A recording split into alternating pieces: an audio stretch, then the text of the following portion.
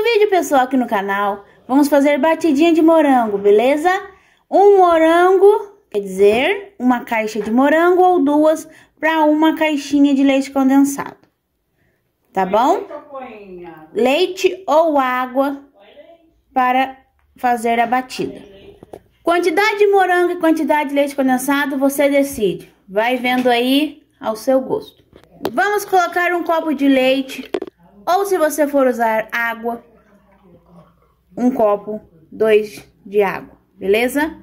Um ou dois copos de água, que vai ser dois de leite.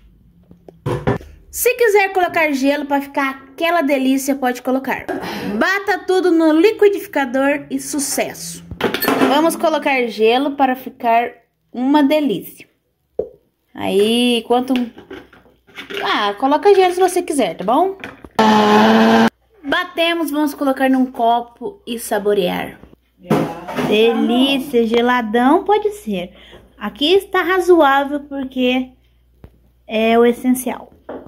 Olha só. Hum, geladinho no calor. É uma delícia. Hum, aqui está friozinho, mas no calor, gente, ó, sucesso. Isso aí, se inscreva no canal, deixa joinha e faça na sua casa que isso aqui o pessoal vai adorar. E outra, pessoal, pode fazer isso para as visitas também, que elas vão amar. Eu amo